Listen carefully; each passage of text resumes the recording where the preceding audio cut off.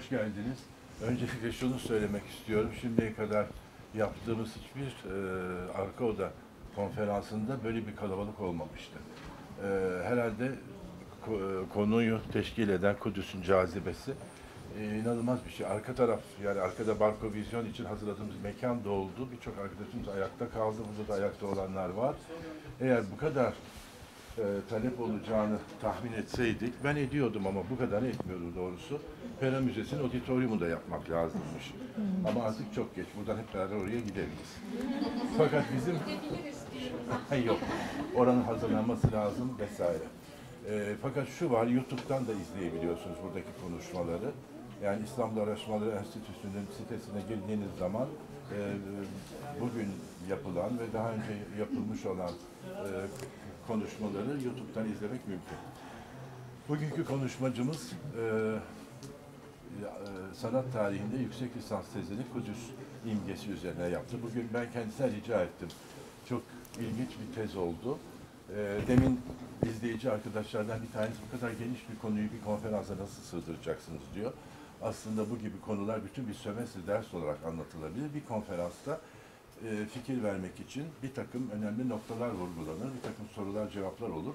Aksi takdirde hiçbir konferans yapılamaz. Yani e, çünkü her konu önemlidir ama Kudüs hakikaten sonsuz e, derecede ilginç ve çok derinliği olan bir kent. Aslında kendisi İngiliz Dili ve Edebiyatı'ndan mezundur. Fakat sanat tarihine duyduğu ilgiden dolayı e, İstanbul Üniversitesi'nde bizim bölümde bugün izleyeceğiniz konu üzerinde doktor, e, yüksek lisansını yaptı. Ve gerçekten doktora düzeyinde bir çalışma oldu. Onun bastırmasını istiyorum. Hatta tercihen yurt dışında yabancı dilde kendisine defaten rica ettim. Şu anda da Osmanlı kültüründe koku e, ve kokuyla ilgili bütün objeler yani bu kurdanlar, gülaptanlar ve bu e, koku kültürünün e, sosyopsikolojik arka planı ve yine çok ilginç bir test yapıyor. Üstelik benim gibi çoluk çocuksuz değil, kendisi iki çocuk sahibi, hem ev hanımı, hem anne, hem e, araştırmacı. Doğrusu çok zor bir iş. Kendisini çok takdir ediyoruz, çok seviyoruz. Çok ve çok teşekkür, teşekkür ederim. ediyoruz bugün kabul ettiği için bu konferansı vermeyi ve tekrar söylüyorum bizim enstitü şimdiye kadar böyle bir izleyici e, miktarı rekordur. Burada tabii ki senin payın var ama herhalde Kudüs Şerif'in Yok, senden tabii. daha fazla payı var. Evet. Çok teşekkür ederim Tamam. sözleriniz için. Çok onore ettiniz. Biraz yüksek söyleyeceksin. Evet, e, öncelikle ben de herkese hoş geldiniz diyorum. E, değerli vakitlerinizi ayırdığınız için. Ben de hemen konuya girmek istiyorum. Malum çok geniş kapsamlı bir konu. E, öncelikle Yahudi, Hristiyan ve İslam sanatlarına Kudüs imgesine geçmeden önce e, nasıl bir e, şehirden bahsediyoruz? E, Milattan önce 1000 yılında Kral Davut'un kurduğu, tarihi e, 3000 yılı aşan ve dünyada da 25 yüzyıldır e, hac için ziyaret edilen bir şehir. E, Kudüs e, malum çok e, sembolizmi varlığına hükmeden, e, işte sembolizmi e, hiçbir şehrin dünyada da bu denli sembol, sembolizmi varlığına hükmetmediğini görürüz. Ayrıca hiçbir şehirde dünyada bu kadar farklı milletler tarafından bu kadar farklı kimliklerle yüklenmemiştir. Bu tabii şu e, Kudüs'ün çok e, farklı olmasının bir sebebi dünyada e, dünyevi ve semavi iki e, boyutlu olan e, tek şehirdir. Hem e, bu sebeple e, imtiyazlıdır hem de e, hem tarihi olaylar, çok önemli tarihi olaylar burada gerçekleşmiştir. Tarihi açıdan önemlidir. Hem de eskatolojik dediğimiz yani dünyanın sonunda da e, bir takım önemli olayların yani Maşer günü toplanması gibi burada gerçekleşeceği için e, iki türlü önemi vardır. Şimdi e, üç monoteist dine göre de burası diğer e, dünyanın bütün yerlerinin üzerindedir. Çünkü insanın Tanrı'ya ulaşması buradandır. Malum Miraç'ta Hazreti Muhammed buradan göğe yükselmiştir. E, ve Kudüs ilahiye açılan tek kapıdır. Cennete de en yakın yer olduğuna inanılır. Hatta e, benim şehirlerimde Cengiz Çandar, e, Kudüs Haçlı, Alemli, Davut Mühürlü, Sancaklı altın e, sancaklar altında göze görünmez orduların sessizce alıp verdikleri bir yer. Muhteşem, kimsenin olmadığı için herkesin ve benim. Çünkü Tanrı'nın der. E, ve öyle mi? Pardon. Pek e, ses çıkmıyor mu bende? Kameradan. Tamam, kamera için. E, o sebeple de e, Kudüs'ün nabızları hep yükselttiğini tarih boyunca ve yükseltmeye de devam edeceğini e, söyleyebiliriz. Bu çalışmada ise Kudüs'te sanat değil, sanatta Kudüs araştırılacak. Yani bu şu demek oluyor, Kudüs'ün e, fiziksel, e, tarihi boyutundan bağımsız olarak aslında dünyanın dört bir yanına farklı milletlerin imgesinde olan e, Kudüs'ün sanatta ne şekilde işlendiği, e, yani ideal ve e, ütopik boyutunun sanattaki seyrini izleyeceğiz. Ve üç dinin bakış açısıyla en erken dönemden modern döneme kadar e, bu e, seyri yapacağız. Bunun bir sebebi de aslında Kudüs'ün, sanatta Kudüs'ün işlenişi üzerine e, ben araştırma yaparken doğru düzgün kaynak bulamamıştım. Etraflıca incelenmemiş. Hani o yüzden spesifik bir yere odaklanmak yerine geçmişten günümüze bu sanatta Kudüs imgesini, seyrini ortaya koymayı daha doğru bulmuştuk. Öncelikle e, Babil Tevrat'ından bir alıntıyla başlamak istiyorum. Dünya insan gözü gibidir. Yeryüzünü çepeçevre saran okyanus gözün beyazı gibidir. Kara parçası iris, Kudüs ise göz bebeğidir. Ve tapınak da göz bebeğine yansıyan imgedir.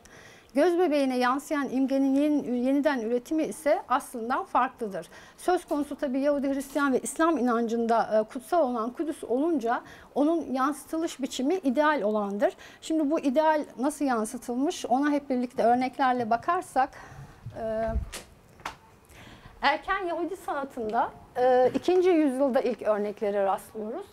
E, Yahudiler arasında e, ahit sandığı Şekina dedikleri Tanrı'nın varlığının e, sembolüdür. Ahit sandığı tapınağa konmuştur. Dolayısıyla tapınakta Kudüs'te bu üçü bir haldedir. Yani birbirinin yerine geçer ve üçü de e, Yahudi halkının kendi kimlikleriyle bağını teşkil eder. Dolayısıyla en erken örneklerden başlayarak Kudüs'ün e, tapınak imgesiyle Yahudi e, sanatında e, temsil edilmiş olduğunu görürüz. E, malum Kral Davut şehri kurmuştur ama eski ahitte e, Tevrat'ta kendisine tapınağın e, nasip olmayacağı söylenir. Çünkü çok kan dökmüştür. Davut'un oğlu Süleyman tapınağı inşa eder ilk tapınağı. Ve hatta cinleri e, yardımıyla inşa ettiği e, rivayet olunur. Ve yine Ayasofya'yı Justinianus yaptığında hani seni yendim Süleyman diye e, zafer naraları attığı da rivayet olunur. Yani tapınak Yahudilerin milli bilincinde çok önemli. Tapınak Kudüs'te ve ahit sandığı da yani Tanrı'nın varlığı da tapınağın içinde. Dolayısıyla ilk semboller madeni sikkeler 2. yüzyıla tarihleniyor. Dört sütunlu bir tapınak görüyoruz. Ortasında ahit sandığı. Yine 3. yüzyılda Dura Europos sinagoğunda yine e, Tevrat Miş'in üzerinde bir tapınak betimi. E, Yahudi e, yine sembollerinden e, yedi kollu şamdanı da görürüz. Ama her zaman temel figür e, tapınak. Erken Hristiyan sanatına geldiğimizde ilk örnek karşımıza 5. yüzyılda çıkar. Yine genel anlamda da erken e, Hristiyan sanatı e, 5. yüzyılda e, tarihlenebilir. Burada Hazreti İsa ve e, havarilerinin e, semavi bir e, konsülü e, resmedilmiş. Bu konunun genelde arka planda nötr olarak e, resmedildiğini görüyoruz ama burada Roma'da Santa Pudenziana Kilisesi'nin apsis mozaiğinde e, hem dünyevi hem sema- semavi Kudüs e, bir arada sunulmuştur. Dünyevi Kudüs çünkü fiziksel şehirden bakın şehir e, kuleleri, e, surları vardır ve arkada kubbeli rotunda da e, yine Kutsal Kabir Kilisesi'nin bir e, görüntüsü ama aynı zamanda e, yani Yuhanna'ya vahiy kitabından bir takım imgelerle e, dünyevi semavi şehrin semavi boyutu da resimde e, gösterilmiştir. Bu bu tür resmin ilk örneği olduğu için önemlidir erken Hristiyan sanatı açısından. Yine e, kiliselerin apsis mozaiklerinde Kudüs betimleri görüyoruz. Bu da e, Santa Maria Maggiore Kilisesi'nin e, mozaiği. Hazreti İsa'nın hayatından e, sahneler var. Şimdi bu burada e, her zaman için iki tane sağlı sollu şehir betimi vardır. Sağda Betlehem, İsa'nın Hazreti İsa'nın doğum yeri. Doğduğu yerde de Nazaret Kilisesi yapılmış. Solda da Kudüs. Şuradaki şu detay orada. Ee, gördüğünüz gibi şehir surlarla çevrili, mücevherlerle bezenmiş ve e, şehrin ortasında kubbeli rotunda yine Kutsal Kabir Kilisesi. Kutsal Kabir Kilisesi yani The Holy Sepulchre Church aslında e, Hz. İsa'nın öldüğü varsayılan yerde Konstantin'in e, annesi Helena'nın rüyasına dayanarak e, inşa ettirdiği kilisedir. Şimdi e, Hristiyanlar için o açıdan çok önemli.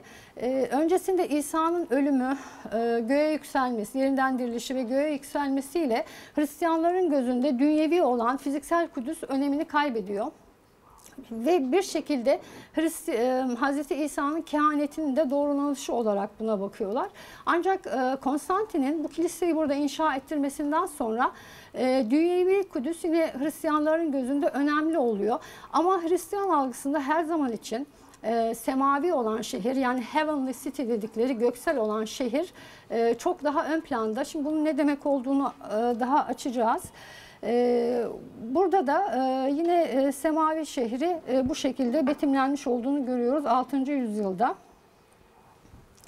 Şimdi apokalips illüstrasyonlarına geçmeden önce e, apokalipsle ne demek isteniyor ondan biraz bahsetmek istiyorum. E, Batı kültüründe, Batı Hristiyan kültüründe ve aslında günümüze kadar e, popüler kültüründe e, yeni ayetin son kitabı e, Yuhanna'ya vahiy kitabı. Bu Hristiyan kanonuna e, sonradan dahil ediyor, ediliyor tartışmalı bir biçimde. E, Yuhanna'ya vahiy kitabının özellikle ikinci bölümü çok yoğun sembolik ve alegorik betimlerle dolu. E, özellikle Batı'da e, edebiyat ve sanat açısından e, incelendiğinde Aziz Yuhanna'ya Aziz Yuhanna Apokalipsi denir e, vahiy kitabına. E, apokalips dediğimiz aslında apokaliptik tür bir nevi e, kıyamet senaryosu e, tasvirler. E, özellikle buhran zamanlarında, zor zamanlarda işte dünyanın sonunun geldiğine dair e, görüşler üretilir. Bu ki çok popülerdir. Birçok e, apokaliptik türe giren kült film vardır. E, dünyanın hep sonu betimlenir edebiyatta, sanatta. Burada da e, Aziz Yuhanna e, ve Aziz Yuhanna'nın e, apokalipsinden çok e, temel figürleri aslında birçok bugün video oyununda, filmlerde görürüz. Bunlar Mahşer'in dört atlısı, Babilli fahişe, denizdeki yaratık vesaire çok yoğun alegorik, sembolik imgelerdir ve hepimiz de aslında aşinayızdır. Çünkü video oyunları, filmler her şekilde popüler kültürde de karşımıza çıkar. Şimdi e, vahiy kitabında Aziz Yuhanna şöyle bir şey söyler. Yedi melekten biri geldi ve beni ruhta büyük ve yüksek bir dağa götürdü ve bana mukadder şehri Yeruşalim'i göğün içinden Allah'tan inmekte gösterdi. Şimdi e, burada e, kıyamet günü yani e, yeni Kudüs'ün gökten aşağı ineceği ne inanılır. Hatta bu Aziz Yuhanna Apokalipsi o kadar güçlüdür ki Batı düşüncesinde. Mesela 11 Eylül saldırıları olduğunda yine bu bağlamda değerlendirilmiş. Amerika'da inanılmaz bir imparatorluk kurmuşlar artık Left Behind serileriyle. Hatta son filminde Nicolas Cage oynamıştı. Hep bu aynı şey canlandırılır aslında. Dünyanın sonu gelir, yeni Kudüs gökten iner ve sadece Hristiyanlar kurtulur şeklinde. Şimdi Orta Çağ'da bunun resimsel ifadelerini çok net görürüz. Burada Bakın e, Melek ve Aziz Yuhanna işaretliyorlar gökten gelmiş olan yeni Kudüs'ü. Burada şehir çok simetrik şekilde ifade edilmiştir. Kulelerle e, çevrili ve ortada da e, Kutsal Kabir Kilisesi rotundasını görüyoruz. Bunun bir değişik versiyonu yine diğer betimde görülen burada ortada hayat ağacı vardır ve tabii bir kuzu figürü vardır. Malum Hristiyanlar e, Hristiyanlıkta Hz. İsa Agnus Dei'dir. Yani Tanrı'nın kuzusudur. O, o sebeple kuzu Hz. İsa'nın atribüsü olduğu için birçok e, betimde kuzuyla Hristiyanlar ve Hz. İsa e, tasvirlenmiş olur. Bir diğer örnek yine dediğim gibi bu el yazmaları ise 10. yüzyıl Cambrai el yazması. Bunlar bu apokalipsin sonraki yüzyıllarda yorumlarıdır. Yorumların yanına tabii ki illüstrasyonlar eklenmiş e, ve burada da yine benzer betimleri görüyoruz. E, Bologna minyatüründe ise yine semavi şehri e, daha yukarıda Yine Hz. İsa'nın atribüsü kuzuyu madalyonun içinde resmedilmiş şekilde görürüz. Bunlar görüldüğü gibi aslında çok e, soyut, e, semavi kudüsü işaretleyen betimler. E, Bamberg el yazmasına baktığımızda burada semavi dünyevi şehir daha net çizgiyle ayrılmış. Gördüğünüz gibi soldaki resimde. Ve şehir çok daha e, şematik gösterilmiş. Bir nevi taht gibi bir e, kule E, ve ortasına da aslında e, pek benzemese de bir kuzu figürü Hazreti İsa'yı simgeleyen ve semavi boyutta bir e, Kudüs betimi yine semavi şehir. E, Paris el yazması ise çok daha gördüğünüz gibi soyut e, bir kompozisyon. Burada şimdi oradan gösteremiyorum. Bakın 12 tane kule yapılmış simetrik olarak. E, ve ortada da madalyonda yine e, Hazreti İsa'yı simgeler şekilde kuzu ve yine Aziz Yuhanna ve Melek işte bu semavi Kudüs'ü işaretlemektedir. Şimdi e, Vahiy kitabında şehrin e, tanımını yani şehri tabi anlatıyor Semavi Kudüs'ü. Vahiy kitabına baktığımızda ve şehir dört köşeli olup onun uzunluğu genişliği kadardır ve duvarın yapısı yeşim ve şehir saf cama benzer saf altındı. Şehir duvarının temelleri her nevi kıymetli taşlarla bezenmişti. Birincisi temel yeşim, ikincisi safir, üçüncüsü alaca akik, dördüncüsü zümrüt, beşincisi beyaz akik, altıncısı kırmızı akik, yedincisi sarı yakut, sekizincisi gök zümrüt, dokuzuncusu zebercet, onuncusu sarıca zümrüt diye devam ediyor. 12 kapı, 12 inci, kapıların her birinde inciden, kapıların her biri bir inciden idi demektedir. Şimdi bu tanımlamaya uygun olarak Beatus el yazmasını görüyoruz. Aslında şehir e, mükemmel bir kare formunda. Ortada yine e, altın kamışlı melek Aziz Yuhanna, e, Hazreti İsa ve Hazreti İsa'nın üzerinde de yine bir e, yani haç taşıyan İsa vardır, kuzu figürü vardır. E, havarileri görüyoruz bakın. Şöyle e, konumlandırılmış ve havarilerin başlarının üzerinde de değerli taşlar resmedilmiş. Şimdi bunun tabii çok e, çeşit versiyonları yine yapılmış. Mesela 11. yüzyıldan bir başka el yazmasında havarilerin üzerine melek figürleri de eklenmiş ve e, burada e, değerli taşların havarilerin ayaklarının altında olduğunu görüyoruz. Yine altın kamışlı melek, Aziz Yuhanna ve e, hacı taşıyan e, kuzu figürünü görmekteyiz ortada. Tabii bu e, bunlar çok daha soyut kompozisyonlar ama mesela 11. yüzyıldan bir kilisedeki tonoz freskinde yine şehir e, surları, kuleleriyle yine havariler e, gözü görülüyor. Ortada ise hayat ağacıyla İsa ve yine kuzu figürü betimlenmiş resimsel versiyonunda. E yine e, e, Hristiyan kültürün, Hristiyan e, felsefesinde hatta e, etki etmiş düşünürlerden birisi de Aziz Augustinus'tur. Aziz Augustinus'un çok önemli eseri de e, Civitates Dei yani Tanrı'nın şehrinde pardon e, Kudüs'ü semavi şehir e, yani Kudüs'ü Hristiyan kilisesi ile eşdeğer tutar. E, semavi Kudüs'ün e, aslında yansıması Hristiyan kilisesidir ve o dünyevi şehirden de en uzak olan e, tanımlamadır bu. E, ve o e, Desvitati Dei illüstrasyonlarında da gördüğümüz hep e, Kudüs'ün bu şekilde alegorik bir betimleridir. Yine bakın Apokalips'ten e, figürler yer alıyor. Ortada yine İsa madalyonun içinde yine e, kuzu figürünü görüyoruz. Ve yine şehrin surları. Ortodoks Hristiyan sanatına baktığımızda ise tabi Ortodoks Hristiyan sanatında da e, benzer betimler görüyoruz ama batıdaki kadar yerleşik bir ikonografik ikonografi yok e, Hrist- Ortodoks Hristiyan dünyasında. Ama ee, orada da Kudüs Mater Omnium Ecclesiarium yani bütün kiliselerin anasıdır bir kiliseler topluluğu şeklinde resmedilir. Yine Ortodoks Hristiyanlığında e, Hazreti Meryem çok e, temel bir figür olduğu için Meryem de illaki bakın orada en üstü ortada Hazreti İsa ile birlikte kompozisyonda yer alır.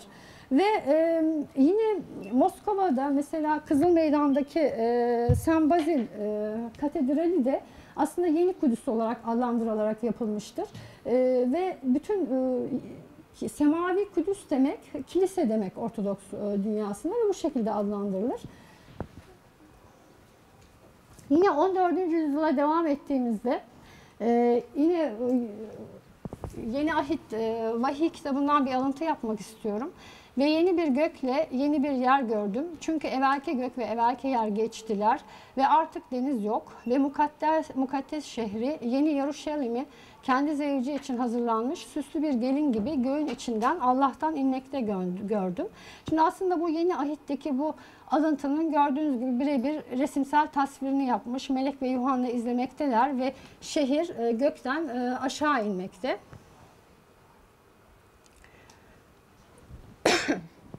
Resimsel bir değeri yok ama e, enteresan özellikle bu yüzyılda e, batıda bir esnafın kafasındaki Kudüs imgesini yansıtması bakımından. Pere Canals bir e, eczacı, e, Katalonya'da e, yaşıyor ve e, muhasebe defterinin arkasında böyle bir e, resim bulunuyor. Bakıldığında aslında e, fiziki olarak e, Kudüs şehrine benzerlikleri var. Yani doğru bir resim yapmış. Çünkü surlar var. E, mesela şu e, burçlar bu kapılarda doğru. Özellikle Kanuni dönemi geniş bir e, imar faaliyeti yapılıyor. Surlar yeniden e, onarılıyor işte burçlar vesaire. Ancak e, Hristiyan algısında hiçbir zaman dünyevi şehir kendi başına yoktur. Her zaman semavi bir boyutu vardır e, demiştik. Burada eklenen e, İncil'den figürler mesela bir e, şu kenarda bir aslan figürü var ki Yahuda'nın oğlu aslan diyerek Yahudi topluluğuna gönderme yapıyor. Yine dişi geyikle Yeruşalim'in e, kızları diye Neşideler Neşidesi Süleyman'ın ona bir gönderme var. Ama daha önemlisi bakın şehrin üstünde minyatür bir e, şehir var.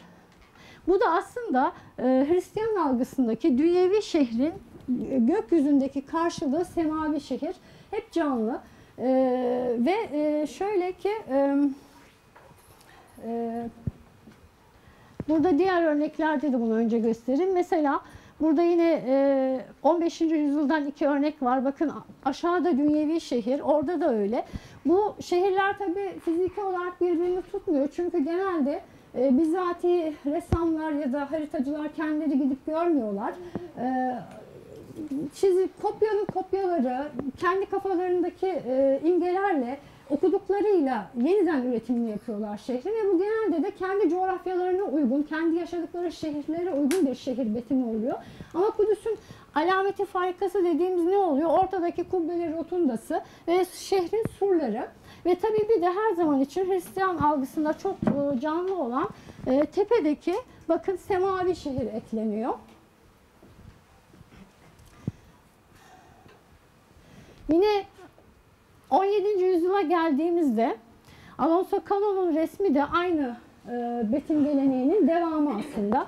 Burada tabii çok daha dramatik bir e, melek ve e, Yuhanna figürü çizilmiş. Ama baktığınızda yukarıda bembeyaz semavi bir şehir ve bir nur içine alınmış gibi gökten aşağı inmektedir. Çünkü e, Hristiyan algısında Kudüs eşittir cennet. Ee, şöyle ki e, mesela Shakespeare'in 6. Henry'sinde böylece bu cefalı dünyadan melal ile ayrılırız. Neşe içinde tatlı Kudüs'te buluşmak üzere der. Orijinali burada. Yani tabii ki burada tatlı Kudüs'te yani bu dünyadan ayrılırız. Kudüs'te buluşmak üzere derken cenneti kastediyor. Ama e, Schuking'in kitabı e, Shakespeare'in bütün eserlerini otomot Almanca'ya çeviren bir kitap. Ve bir tarafı İngilizcesi, diğer tarafı Almancası. Ve enteresan karşılaştığım durum çok şaşırmıştım. Bakın e, Jeruzalem'i paradis, cennet diye direkt çevirmiş Almanca'ya. Almancası da aslında Yeruzalem. Ama daha didaktik olmak istemiş çevirmen. Yani e, koymak yerine orada çünkü bu dünyadan ayrılırız, cennette buluşmak üzere. Hatta e, New York Times'ın ünlü yazarı vardır Thomas Friedman.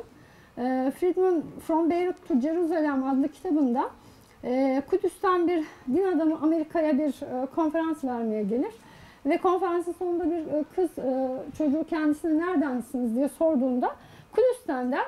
Ve çocuk çok şaşırır. Aa ben orayı cennet zann cennette zannediyordum. Öyle bir yer mi var diye. Çünkü Hristiyan algısında aslında birçok başka örneklerde de göreceğiz. Kudüs hep cennetle özdeşleştirilmiş. Çünkü Aziz Yuhanna'nın vahyettiği dünyanın sonunda yeryüzüne inecek olan yeni Kudüs'tür. Şimdi Rönesans dönemi, dönemine baktığımızda tabi Rönesans'la birlikte Hz. İsa'nın hayatının çokça resmedildiğini biliyoruz. Bu resimlerde de arka planda haliyle Hazreti İsa'nın hayatının geçtiği yer olarak Kudüs betimleri var. Bunlardan bir grupta hiç Kudüs'le alakası olmayan çizimler var. Çünkü tamamen e, ressam kendi bölgesini çizmiş. Bir kısmında yine bakın Kudüs'le alakası yok ama e, Kudüs'ün işte simgeleri tapınakla arka planda Kudüs gösterilmeye çalışılmış. Şehir surları ve tapınak. Bu kubbeli rotunda biçimde hep görüyoruz. Yine burada da şehir surları ve tapınak şeklinde. Sonraki yüzyıllarda tabii daha gerçekçi betimler de ortaya çıkıyor. Bunlar çünkü İsa'nın Kudüs, Kudüs'e girişi resmi. Skorel bunu giderek, görerek, bakarak yapmış Kudüs'e. Ama şunu unutmamak gerekiyor. Hiçbir e, Hristiyan e, resminde olsun, haritasında olsun e, Kudüs sadece dünyevi varlığıyla yoktur.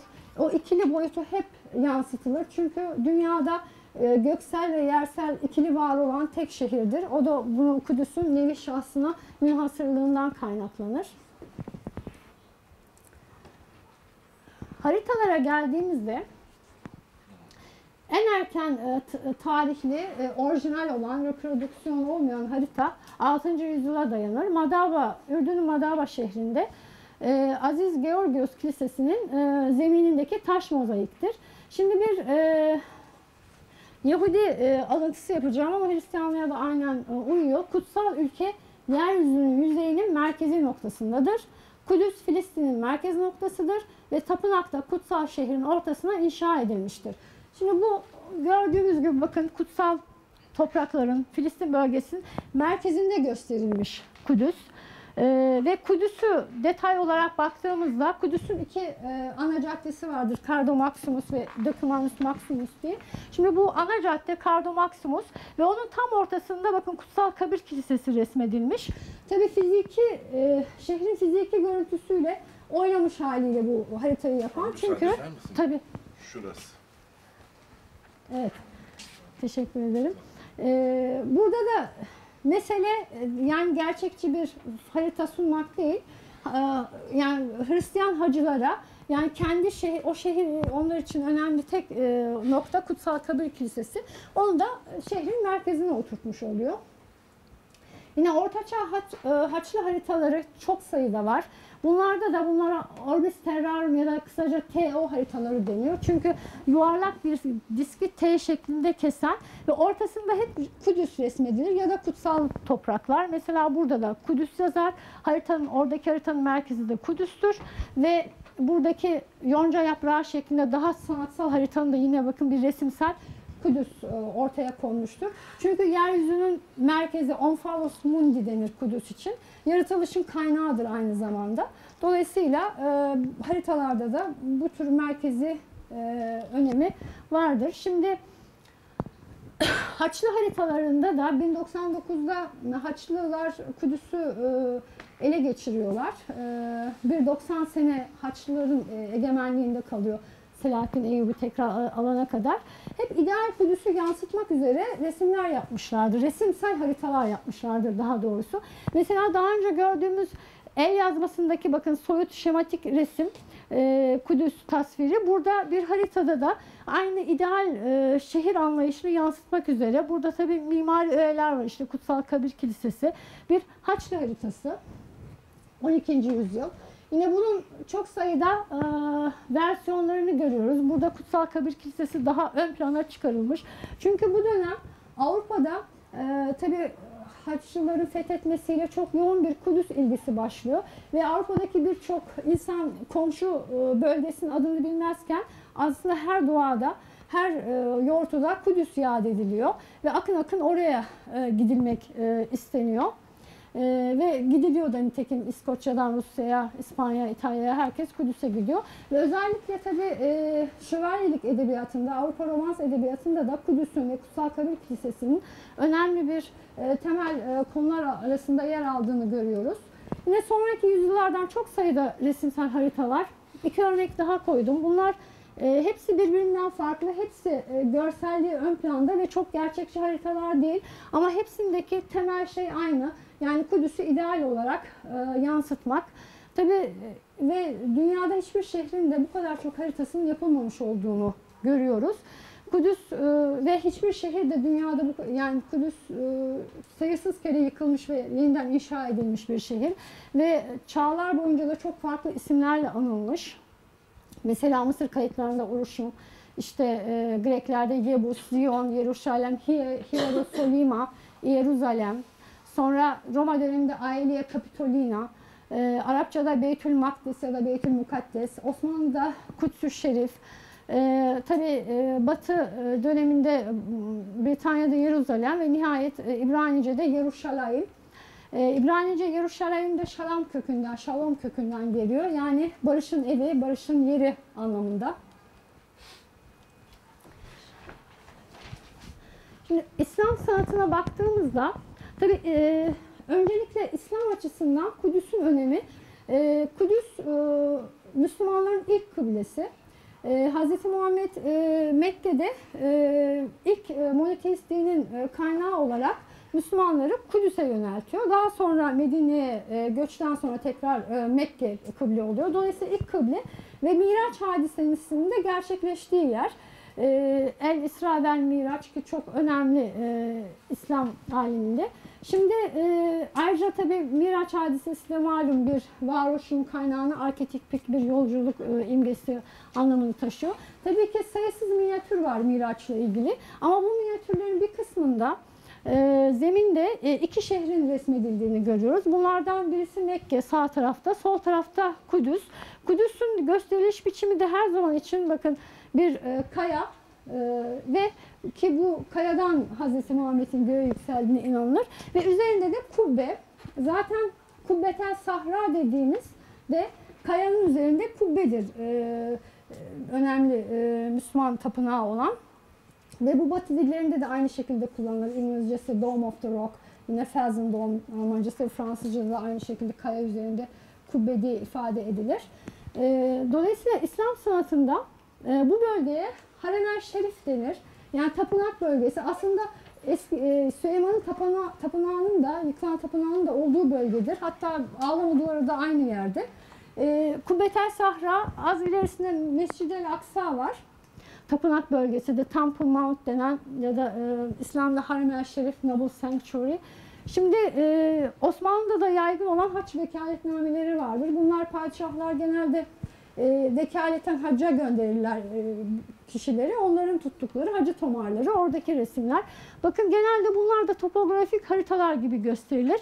Kudüs hep e, kaya, kayanın üzerinde kubbe yani kubbetel sahra, Yine revaklarla olan Mescid-el Aksa gö- gösterilir. Bir e, cennet havuzu, bir e, su kaynağı ve mutlaka e, bir mizan, terazi gösterilir. Çünkü mahşer günü burada toplanılacaktır. E, bir de e, Osmanlı şey e, Şerif bölgesine e, bir e, mihrab-ı Meryem'in inşa edilmiş olduğunu biliyoruz Aziz Meryem'in hatırasına.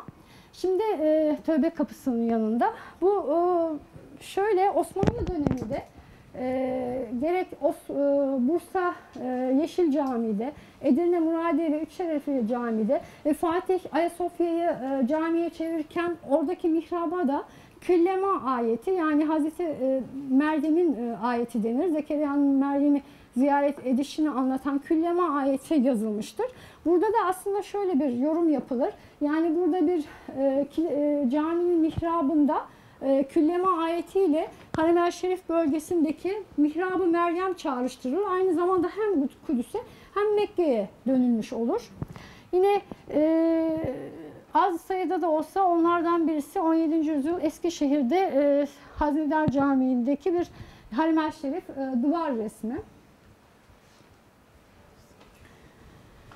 Yine e, bir diğer minyatür e, Tebriz e, minyatürü. Bu Topkapı Sarayı'nda bulunuyor. Burada da Hz. Muhammed'e e, tepsi içinde bir şehir sunuluyor. Bu Hz. Muhammed e, Miraç olayından sonra etrafındakilere anlatırken e, Miraç, e, bu gece yolculuğunu insanlar şüpheli ve şaşkın bakıyorlar ve hani detay vermesini istiyorlar. Gece yolculuğu olduğu için o an hemen e, rivayet o şekilde ki Cebrail e, geliyor yardıma imdada. Elinde e, şehri Kudüs'ü sunarak e, tabi burada baktığımızda e, haliyle fizik yani içinden nehirler e, geçmekte ve minareleri uymuyor Kudüs'e. Ancak bu da tabii şu şekilde yorumlanıyor. Söz konusu Kudüs olunca her zaman ideal şehir sunulmaya çalışılmış. Hani e, şehrin surlarını ve ortadaki hani kubbeli yapıyı görüyoruz. Ama hani burada aynı zamanda bir Tebriz'deki ideal şehir algısıyla e, örtüşen bir e, Kudüs e, betimi. E, şimdi e, diaspora Yahudi sanatı dediğimizde aslında dünyanın dört bir tarafına e, dağılmış olan Yahudiler için e, tabii ki temel bir yani e, resimsel konvasyon söz konusu değil. Her bir e, yerleşik bir ikonografi yok. Her biri e, azınlık e, sanatı olduğu için e, içinde yaşadıkları coğrafyadan etkiler taşır. Ama e, Yahudilerin hayatında e, Kudüs çok merkezi e, bir roldedir. Öyle ki yeni bir ev yapıldığında bir köşesi e, eksik ve e, şey bırakılır ki Kudüs'ü çağrıştırması için. Bir bayan takılarını taktığında birkaçını eksik bırakır ki Kudüs'ü hatırlatması için. Yani Kudüs'ün kaybına dair, e, yıkılmış tapınağa dair hep bir yas vardır ve her dualarında Kudüs'e yönelirler ve seneye Kudüs'te diye biter. Dolayısıyla Yahudi inancında, algısında e, tapınak çok e, merkezi bir e, roldedir dediğimiz gibi çok yerleşik bir konvans resimsel konvansiyon yok. Yani çeşit hep ama genelde gördüğümüz hep bir şehir surları aynı Hristiyan sanatında gördüğümüz gibi benzer şekilde ortada tapınak figürü vardır. Bazen daha farklı biçimde görürüz. O da yine oradaki e, coğrafyanın e, ve oradaki resimsel ifadenin ürünü olarak. E, burada aslında çok ironik de bir durum var. Ee, Yahudi inancında tapınak çok merkezi rolde dedik. Şimdi gördüğünüz e, tapınak e, İslam mabedi ve İslami açıdan önemli çünkü aslında Müslümanların ilk mabedi yani bir cami değil bir mabet olarak e, 7. yüzyılda inşa edilmiş. Çok e, mükemmel formda çünkü oktagonal ve üzerinde de bir kubbe var. Şimdi e, Haçlılar e, Kudüs'ü ele geçirdiklerinde haritalarında bu e, yapıyı Templum Solomonis diye e, yanlış adlandırıyorlar. Süleyman'ın tapınağı. Şimdi bu tabii kopyaların kopyalısı ve bu şekilde çoğalarak yayıldığı için aslında e, ironik olan Yahudiler de gördüğünüz gibi birçok e, bütün ürünlerinde e, Yahudi, yani e, Süleyman'ın tapınağını bu formda gösteriyorlar. E, İsrail Müzesi'nde olan yani tapınağın yeniden inşası hani bir maketi yapılmış. İkinci tapınağın bu şekilde olmuş olması gerektiği e, gösteriliyor.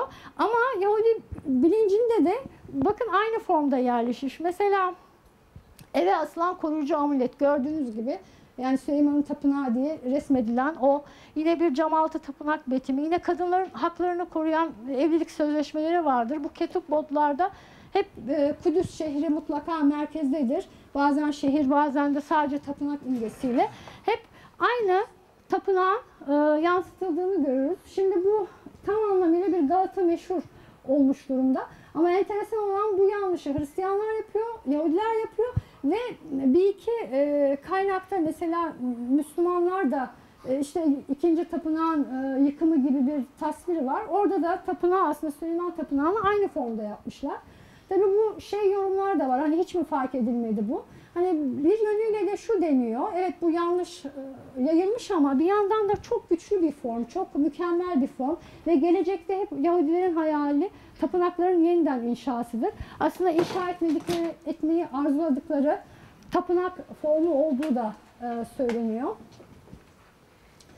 Yine e, Yahudi folklorunda, e, Yahudi günlük hayatında hemen hemen her objeye e, tapınak yani Kudüs şehrinin işlendiğini görüyoruz.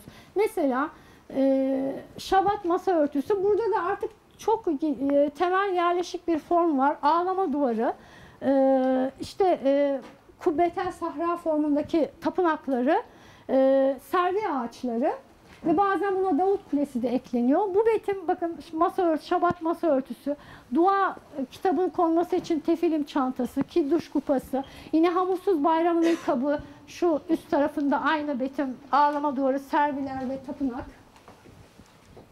Aynı şekilde e, bu yine hamursuz ekmeğinin örtüsü hep Yahudi folklorunda günlük hayatında Kudüs çok önemli, çok merkezi olduğu için her e, şeye işlenmiş durumda. Şimdi e, tabii Kudüs konusu her dönem çok ilgi çekiyor. Özellikle e, oryantalizm 19. yüzyıla gelindiğinde bir de tabii istimbotların gelişmesi, seyahatin daha kolaylaşma, kolaylaşmasıyla yine e, çok yoğun bir Kudüs'e ilgi ve Kudüs'e e, insan akını var. Özellikle bir takım e, seyahatnameler de o dönem e, çok satar, en çok satan, okunan kitaplar arasında oluyor. Yine Kudüs'te bu dönem tabi Osmanlı İmparatorluğu'nun egemenliği altında Filistin bölgesi. Ama Osmanlı e, İmparatorluğu'nun zayıfladığı dönem olduğu için biraz geri kalmış, ikinci planda kalmış bir e, kasaba şeklinde. Ve e, özellikle batılı güçlerin çok yoğun ilgisi olduğu için birbirleri arasında bir yarış halindedirler. Burada aslında Osmanlı'nın daha çok görevi bir nevi jandarma olarak kalmış ki Falih Rıfkı Atay da Zeytin Dağı isimli kitabında onu söyler. Ee, bir ses geliyor ama. Hayır, senin sesin içeriden yansıyor. Ha, pardon, tamam. Yani o sensin ilgili. Anladım. Ee, şimdi bu 19. yüzyılda, yüzyılda sayısız aslında yine Kudüs betimi görürüz. Her ne kadar e, bu e, resimler e, o bizzat e, ressam görerek yapmış da olsa bakın her zaman bir ulvi şehir havası, bir semavi şehirden izleri Kudüs resimlerinde görmek mümkündür. Ee, ve Kudüs'e olan ilgi o kadar çoktur ki bu dönemde. Mesela Yahşua Ben Ari dediğine göre 1500, 1500 sene içinde ne kadar çok kitap yazılmışsa bunun e, yarısı son 40 senede yazılmıştır diyor. O kadar yoğun bir e, buraya akın akın insan, e, ziyaret ve aynı zamanda e, kitap sonra fotoğraflarla çekiyorlar. Kudüs resimleri üretiliyor ve hepsinde de Zeytin Dağı'ndan Kudüs e, çok e, yaygın olan bir şeydir. Çünkü Zeytin Dağı'ndan Kudüs çok güzel gözükür. Hatta Cengiz Çandar da Kudüs Zeytin Dağı'ndan Kudüs olur der. Yani nitekim Fahri Şıfkı Atay'ın hatıratı da ismi de Zeytin Dağı'dır. Ee, ama daha hep belirttiğimiz gibi hani gerçekçi realist manzara resmi olsun, harita olsun her zaman e, Kudüs'ün o ulviliği, semaviliği, e, o öbür dünyaya ait tarafı da her zaman gösterilir. Ki e, Mark Twain mesela bu kendisine akın akın gelen ziyaretçiler arasında büyülenenler olduğu gibi çok hayal kırıklığına uğrayanlar da vardır. Mark Twain hani çok şaşar. Yani bu kadar küçük bir yerin bu kadar büyük bir tarihi olduğunu inanamıyorum der. Hani bir redaksiyon sistemi geliştirmem lazım der. Nasıl olur diye hayretler içinde kalır. Ve e, aslında bu duyguların yazdığı e, hatıratı da bir türlü Amerika'da bastıramaz. Çok zor basılır. Çünkü ondan beklenen o değildir. Mesela Edward Lear der ki ah burnum, ah gözlerim, ah ayaklarım hepiniz şu iğrenç yerde nasıl da acı çektiniz. Lütfen söylememe izin verin. Fiziksel olarak Kudüs yeryüzündeki en pis ve nefret edilisi yerdir der. Ama yaptığı resimde bunu demez tabi. Çünkü kendisinden beklenen ideal bir Kudüs ortaya koymasıdır. Dediğimiz gibi o dönem biraz geri kalmış bir kasaba şeklindedir Kudüs. Şimdi e, Amerikan yaklaşımına da değinmek istiyorum çünkü çok enteresan. E, burada 92'de Cumhuriyetçi Parti'nin e, Matta İncil'inden esinlenerek şu konuşma yapılıyor. Umudu korkuya tercih ederek Amerikalılar tepe üzerinde parıldayan bir şehir ve yeryüzünde insan olduğunun son güzel umudu olduğumuzu tüm dünyaya hatırlatan bir ışık yakmışlardır. Yani e, üzerinde tepe üzerinde parıldayan şehir imgesiyle kendilerini yeni İsrail olarak görür Amerikalılar. Seçilmiş bir ulusa saklanan yeni vaat edilmiş dünya olarak yine kendilerini görürler. Yine e, John Danforth da 18. yüzyılın başında şöyle der. İsrail doktrinimizin delili yüzümüzü döneceğimiz aynamız olsun. Aslında e, bu Amerika'da kutsal topraklara karşı duyulan e, büyülenmenin bir e, sonucudur. Şimdi e, burada Amerika yüzünü yani kurucu e, Avrupa ve İngiltere'ye dönmek yerine aslında bu biraz şey olarak tanımlanır. Hani anne babasını reddeden e, daha kurmaca bir büyük baba imgesi arayan yeni neslin tutumu gibi İncil topraklarının geçtiği yer olarak Amerika'da yüzünü İsrail'e döner. E, ve İsrail'de e, 300 yıldan fazla zaman boyunca da Amerikan kültür gelişiminde sürekli ter- tekrarlanan bir imge olur. Böylece aslında Amerika'yı motive eden mitolojinin de özünü oluşturur. Şimdi bunun karşılığı olarak da mesela e, Amerika protestanların özellikle e, İncil e, İncil ile iç içe olmaya çocukluktan itibaren çok önem verirler ve bir e, Vince, Piskopos Vincent'ın bir e, öğretisiyle bu kutsal e, pardon kutsal e, kutsal ülke e, eğitim merkezi diye bir yer açar. E,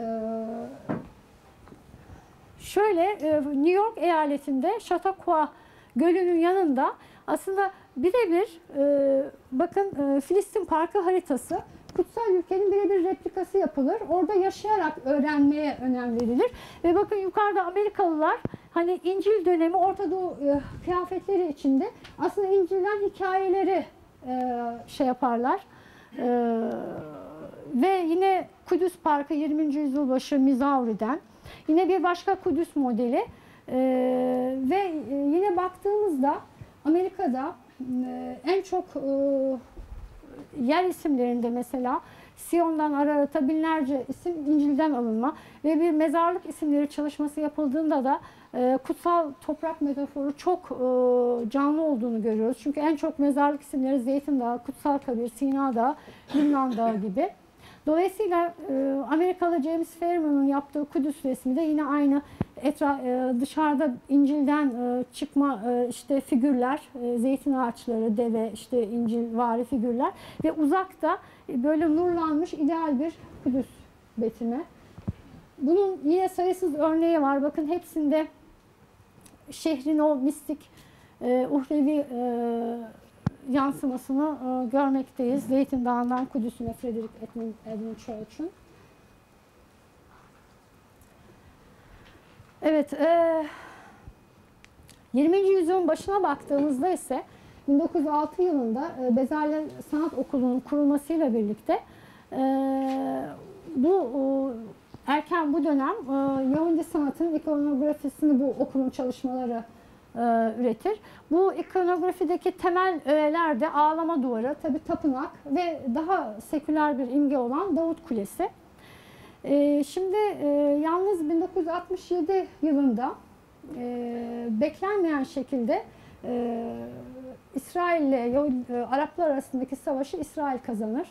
Yani burada e, Rusya'nın e, Mısır ve e, Ürdün'e karşı Suriye'ye yardımıyla Amerika'da tabi e, denge için İsrail'e e, yardım eder ve bu e, Kudüs'ü ilhak eder İsrail. E, dolayısıyla aslında yüzyıllar boyunca e, her dualarında e, hep e, kavuşmaya arzuladıkları Kudüs'ü ele geçirince tabi bu durumun meşruluğu karşısında bir takım e, sanatçıların, Yahudi sanatçıların e, bu durumu sorgulamaya başladıklarını görürüz. Mesela 90 67 Savaşı'ndan sonraki eserlerde bu tutumu yansıtır Yahudi sanatçılar. Yani yüzyılın başında ideal Kudüs, işte Kudüs imgeleri varken David Rebb'in Kutsal Mekanlar No 1 ki bir serinin ilkidir, devamı var. Bakın bir barkod koymuş ağlama duvarı e, resminin kenarına. O bir ticari metaya nasıl dönüştürüldüğünün bir e, sorgulanması. Yine Kadişman'ın ağlama duvarı 79 tarihli aslında e, duvarı şahsileştirmiş, e, tek boyutlu hale getirmiş ve duvarla bağını sorgulamaktadır. Modern dönem e, Hristiyan sanatına baktığımızda yine Kudüs algısı ne şekilde devam ediyor? Aslında bakın Beatus el yazması 10. yüzyıl kara şeklindeki e, şeyin Aziz Yuhanna'nın belirttiği Civitas in Quadro Posita dediği dört kareli şehir bir betimi. Burada ondan bin sene sonra 95-96 yıllarında Rulier'in Semavi Kudüs vizyonu yine kare şeklinde bakın melek figürleri de var ve yine bir e, Aziz Yuhanna ve melek izlemiyor ama bir kişi Semavi Kudüs'ü bu şekilde e, soyut e, bir betimini izlemiş oluyor. E, Bunlar da yine Hristiyan algısında hala popüler kültüründe var olduğunun kanıtı olarak resimsel bir görsellik açısından değil. Apocalyptic Dreams'te yine 82-92 tarihli e, mücevherlerle bezenmiş semavi Kudüs gökten inmekte. Yine orada da görüyoruz Kudüs'ün üzerinden yine e, kıyamette e, semavi Kudüs'ün gökten aşağı ineceği şeklinde. Şimdi modern Filistin sanatına baktığımızda ise e, tabii Filistinliler açısından 67 Savaşı'ndan sonra e, durum çok e, değişti, durumun değiştiğini görüyoruz. E, özellikle e, köken kavramı, sürgün olma durumu e, çağdaş Fil- Filistinli birçok sanatçının eserine e, temel konusu haline gelir. 67 sonrasında Kudüs, Filistin sanatında egemen sembolik bir motif haline geliyor. Ee, Kudüs tabi Filistin sanatında da yine aynı o çok güçlü formla ifade ediliyor. Kubbetel Sahra ile. Ve bütün kaybedilmiş vatan Kubbetel Sahra formu Kudüs'le betimlenir. Ee, ve yine Filistinler için idealize ettikleri kayıp cennete dönüşür. Şimdi bu e, burada 1902 tarihli e, Moshe Lilye'nin Yahudi Mayısı Bakın kendi durumu, çileli durumu bir böyle dikenli bir telin e, çalının yanında ve Kudüs uzakta işte bir e, ışıklandırılmış nuru ideal ve ona bir ulaşma sevdası var. E, 67 Savaşı'ndan sonra ise bu Kudüs şarkısı isimli resimde aslında aynı durumun bu sefer Filistinliler için geçerli olduğunu görürüz. Çünkü burada da Kudüs ideal olarak betimlenmiş yuvarlak bir daire içinde uzakta ve ona ağıt yakan, onu tekrar ele geçirmek isteyen bir figür. Burada şu şekilde şimdi buradayız fakat seneye İsrail'de olabiliriz. Şimdi köleyiz fakat seneye özgür insanlar olabiliriz. Ve son dua yeryüzündeki tüm Yahudiler için tek bir cümleyle sona erer. Seneye Kudüs'te. Burada Mahmut Abbas'ın 2005 seçim öncesi konuşmasından bir alıntı. Bugün Kudüs'e gidemiyoruz ama yarın Kudüs'te ebedi başkentimizde olacağız. İsrail'in duvarları bize engel olamaz. Biz Kudüs'ümüzü istiyoruz. Kudüs'e bir gün özgür Filistinler olarak gideceğiz. Şimdi e, son olarak aslında en başa başladığım yere e, dönmek istiyorum. Çünkü Kudüs söz konusu olduğunda bu e, döngüsellik çok e, uygun oluyor. Dünya insan gözü gibidir. Yeryüzünü çepeçevre saran okyanus gözün beyazı gibidir. Kara parçası iris, Kudüs ise göz bebeğidir. Ve tapınak da göz bebeğine yansıyan imgedir. Tabi göz bebeğine yansıyan imgenin yeniden üretimi ise aslında farklıdır. Söz konusu Yahudi, Hristiyan ve Müslüman inancında kutsal olan Kudüs olunca onun imgesinin yansıtış biçimi ideal olandır. Umarım bu alıntı şimdi daha anlamlı gelmiştir. Ben teşekkür ederim sabrınız için. Çok teşekkür ediyoruz. Şimdi bu yoğun bir e, izleyiciden soruları almaya başlarsan sen e, sa- e, sabah namazına kadar buradan. Ama birkaç soru alalım isterseniz. Hanımlara öncelik verelim. Hanımlar çoğunlukta. Ben sana bir şey sormak istiyorum. Bu Amerika'daki Kudüs imgesiyle yapılan parklar e, özellikle 14. yüzyıldan sonra Evet. artıyor. Ama protestan şeyinde e, protestan Evet, evanjelik. Evet. şeyinde, inancında bu hep var olan bir şey. Yani neden mesela özellikle 19. yüzyılda çoğaldığına tanık oluyoruz. Onun başka bir e, sosyo-kültürel şey var mı arkasında?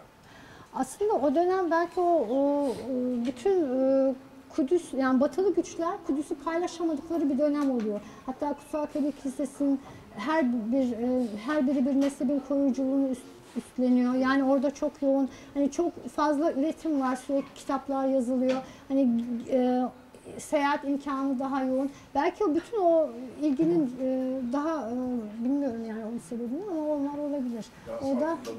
evet evet. Peki. Sizler de buyurun.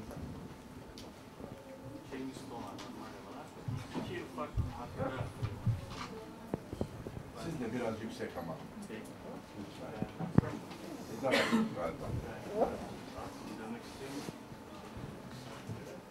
Şimdi o e, 17. yüzyıla ait bir vekaletnamedeki e, Kudüs resmini gösterdiniz. İşte o bizim Mekke, Medine tasvirleri birebir çok benziyor. Belki onlarla da karşılaştırmak e, doğru olur diye düşünüyorum. Bir Özellikle bu 19. yüzyılda Kudüs'ün çok pis veya çöp şeklinde olduğu bu doğru. 16. yüzyıldan beri Osmanlı belgelerine yansıyan bir şey. Bu Kudüs tabi pek çok din ve mezhebin rekabet ettiği bir yer olduğu için oradaki insanlar karşı dinin e, mabetlerine çöp tekme atıyorlar. Hatta bu nedenle Kıyamet Kilisesi, Kamane yani çöp kilisesi şeklinde geçiyor. Bu 16. yüzyıldan beri olan bir şey. Hatta Yavuz Sultan Selim bunu engellemek için bir ferman çıkarıyor. Yani Osmanlı belgelerine e, çok yansımış bir şey. Bu e, sanırım o Kudüs'ün pisliği veya çöp olmasının bir sebebi de bu dinler arası rekabet diye düşünüyorum. Kendi adıma çok e, istifade ettim. Teşekkür ederim. Ben teşekkür ederim. Çok mersi. Evet efendim. Tabii. Buyurun. tabii. Ben bir, gerçi bir daha duymak istiyorum açıkçası. Ayıp olmazsa. Ee, Meryem Ana'nın yani duası dedik mihrapta var. Ee, Cebrail'le ilgili.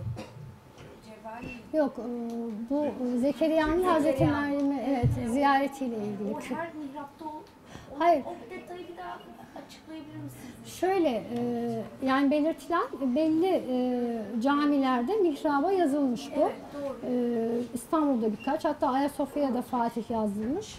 Ben şurada bir yandan cahil edebilir miyim? Bu mihrapların üzerine Ali İmran suresinden Evet Ali İmran'da. Zekeriya peygamberle ve Meryem ana ile ilgili olan o içine mihrap kelimesinin geçtiği, kusura bakma, Estağfurullah. mollalık yapıyorum. O Estağfurullah. ayet Osmanlılara özgü bir uygulama. Çok Evet. ilginç. Ne İran'da var, ne Orta Asya'da var, ne Arap kültürünün egemen olduğu yerler. Hatta benim Memlük sanatı uzmanı, çok da şakacı olan ama çok ciddi bilim insanıdır. Dolayısıyla bu sev diyor ki yarının zaten devşirmesini tabii ki diyor, onu koyacaksınız. Bu şamatasını söylüyor. İlginç ama. Mesela e, yeni yapılan bir takım camilerde bugün bu Kur'an-ı Kerim'den bir ayet olmasına rağmen onu kafi Müslüman bulmuyorlar. Bunun yerine kelime-i tevhid koyuyorlar. Bu bizim geleneğimizdir. Gün namazda hala ayeti. Yani Kur'an'daki bir ayeti kafi İslami bulmamak. Bu da günümüzün Müslümanlığı. Neme lazım diyor. Ondan sonra oradaki de Meryem var. Tamam başımla beraber ama ne olsa onlar İsa yıkıyor. Çok ilginç. Yani buna ben tabii e, bu konuda diğer işlerle ilgili değilim. Mihraba ne konacağını ben karar vermeyeceğim ama Osmanlı'ya özgü bir mihrap e, mihraptaki bir uygulamadır. Çok ilginç. Ama neden bizde bu adet olmuş? Demin senin söylediğini hiç düşünmemiştim. İlk kıblenin Kudüs olması ve daha sonra hala geçerlikte olan kıblenin Kabe olmasını sanki mihraplar ki kıble Mekke'ye yönelikti tamam ama üzerine ayeti koyarak bir hatırlatma mı yapmak istiyor? Yani bir, bir yorum var. Tapınak Dağı'ndaki o mihrabı Meryem'e de bir mesela şimdi gönderme. Tunuslu bir araştırmacı var. Tunus'ta mihraplarda Osmanlılardan evvel var mıydı? Osmanlı mihraplarında var mı? Ali Otoman diye. Ee, no. E, ne, koy, ne, koyuyorsunuz mihrapların üzerine? Koymuyoruz ama bazen e, ayetler koyuyoruz. Yani. Ama- Ama, bu ayet ya özellikle bu e, kulleme dehal aleyhim mihrab yok. Yok yani ilginç. E, 400 sene Osmanlı hakimiyetinde kalmış olmasına rağmen Maliki mezhebinin hakim olduğu bir bölge Tunus belki onunla ilgili. Yani başkentteki ve Osmanlı'nın çekirdeğindeki bu uygulama mesela e, oraya yansımamış. Çünkü ben de hatırlıyorum olmadığını ama senden bir şey doğrulama istedim. O Miraç'la ilgili olabilir efendim. Yani çünkü bu Araplar genelde bizim gibi değil. Miraç pek kutlamazlar. Türklerde olan bir şey. Evet, Miraç Kandili kutla, Evet, bu Araplarda yok. Bizim Türklerde çok yaygın. Hem Mevlid hem Miraç kandili. Belki onunla ilintili olabilir. Sadece Ama- Osmanlı'da Ama bir olmaz. şey söyleyeceğim, Miraç'la ilgili olsaydı eyvallah. Mesela e, doğrudan böyle Miraç'a e, ilişkin ayetlerden birisi değil bu. Evet, yani yani bağlantı kurmak açısından. Ha, İlk kıble, Evet. Miraç o, o bağlantı olabilir. Çünkü Osmanlı dışında yok bu. her halükarda ilginç ama demin senin buna e, yani daha önce hiç düşünmemiştim onu. Evet. E yani Kudüs hatırlatmak için mi? Öyle bir yorum aç, öyle bir yorum var. Yani hani mihrabı Meryem'e de bir gönderme, kıbleye bir gönderme. Ee, belki aslında Ortodoks dünyasında Hazreti Meryem çok daha ön planda. Hani oradan da bir etki olabilir. Yine Meryem'e bir Benim o şimdi demek ki şakaydı tabii. Yarın yarından dönmezsiniz onun için onu koyacaksınız diyor. O işin latife tarafı. Sonu mihrapla bitiyor. Ana dili Arapça olmayan bir toplumu mihrap kelimesini içerdiği için o ayeti orada kullanması. Onun yorumu odur. Profesör Mısırlı Abu Seyf'in. Yani e, onun muhtevasından ziyade, içeriğinden ziyade mihrap kelimesiyle o ayetin son bulması, mihrapların üzerinde yer almasına sebep oldu sizin toplumunuzda. Çünkü sizin diyor dil, ana diliniz Arapça değil diyor. Yani o da bir onun görüşü. Bunu e, makale olarak ya da bir bilimsel bildiri olarak sunmamıştır ama bu konudaki düşüncesi oydu. Görüş olarak. Belki Anadolu'nun etkisi de olabilir. Belki Meryem Ana çok önemli. Evet. Kudüs'e gitmeyenler vardır herhalde ama ben 99'da ve 2000'de e, yüzey araştırması için sen gittin. Evet. Ama biz ayrıca birkaç başka akademi bizim bölümden arkadaşla gittik. Gerçekten e, çok farklı. Dünyada başka hiçbir yere benzemeyen kentler vardır. Bir tanesi de Kudüs'tür. Yani birini bilim, birini bir şeye benzetebilirsiniz. E, Kudüs hiçbirine benzemez. Evet. Artık, artık birbirlerine çöp atamıyorlar ama. Çöp temiz. Osmanlı devrinde büyük kavgalar oluyor biliyorsunuz. Özellikle Ermeniler ve Rumlar arasında. Katolikler daha sonra Osmanlı Evet, evet, evet. Özellikle evet. Fakat hala bugün devam eden bir gelenek var. Hatta geçen gün YouTube'da izledim. Ee, Paskalya'da ne vesileyle hatırlamıyorum. Ee, Rum Ortodoks Patrikhanesi'nin e, şeyine, tekeline verilmiştir. Ee, Kutsal Mezar Kilisesi'nin bakımı. Ve yani asıl şeyin, yani büyük e, ayinleri, liturji Rum Ortodokslar yapıyor. Ve e, Paskalya gününde, İsa'nın dirilişinin kutlandığı Kristo Anisti gününde Patrik önde yürüyor. İki yanında İstanbul'un başında fes iki tane adam elinde asalarla küt küt böyle vurarak yani Osmanlı devrinden kalma fes Kudüs'te başka hiç kimse tarafından giyilmiyor. O ayinde iki tarafta adeta Osmanlı Devleti'nin himayesini böyle ifade eden iki fesli adam ellerinde asaları vurarak o alayın iki tarafında yürüyorlar. Çok ilginç. Evet. Yani Rum, Rum Ortodokslar hakim kutsal nezaketinde ve o san- sanıyorum şeyden beri öyle. Yavuz'dan beri öyle. Evet ama 19. yüzyılda çok büyük tartışmalar oluyor aralarında. Hatta e, bu e, Kırım Savaşı'nda Osmanlı'dan imtiyazlar koparmaya çalıştıkları oradaki egemenlikleri için e, söylenir. Söyleniyor yani. 19. yüzyılda pek çok bina yapılmıştır mesela. Fransız, Alman, İngiliz büyük büyük kiliseler Evet. ve misafirhaneler daha önceki yüzyıllarda yok. Evet efendim. Şimdi müsaade isteyelim mi? Tabii ben estağfurullah ben teşekkür ederim. Kendinize-